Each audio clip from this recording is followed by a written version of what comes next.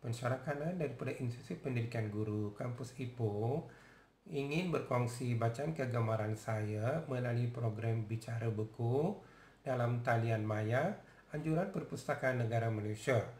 Okay, buku yang ingin saya berkongsi pada pagi ini ialah berkaitan dengan motivasi ataupun tajuk buku adalah Motivasi ditulis oleh Encik Muhammad Zaki bin Samsudin pada tahun 2015.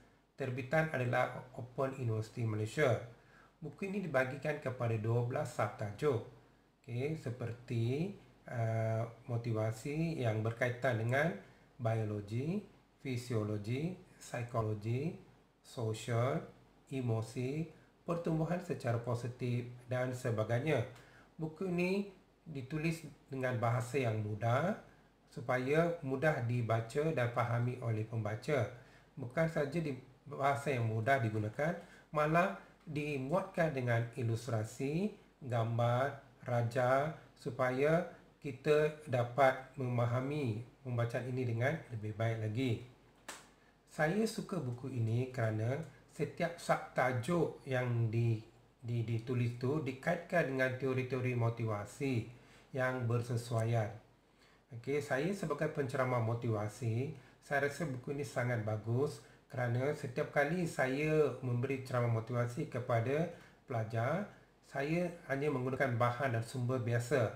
Tetapi selepas membaca buku ini, saya dapat satu idea baru bahawa saya juga dapat mengaitkan teori motivasi dalam slot motivasi saya.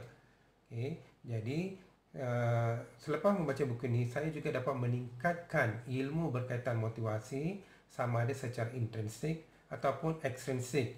Okay. Jadi saya sebagai pendidik, saya rasa saya sangat hmm, bertuah lah kerana dapat membaca buku ini sebab saya dapat meningkatkan motivasi diri saya dan juga motivasi pelajar-pelajar saya. Semoga lebih ramai lagi membaca buku ini supaya mereka juga dapat meningkatkan motivasi intrinsik dan ekstrinsik mereka.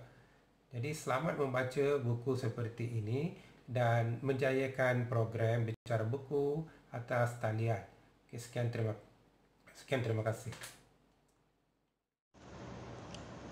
Salam sejahtera dan salam satu Malaysia kepada semua. Saya berterima kasih kepada program Bicara Buku siri 2 per 2020 untuk memberikan peluang kepada saya untuk menceritakan buku yang saya memang suka.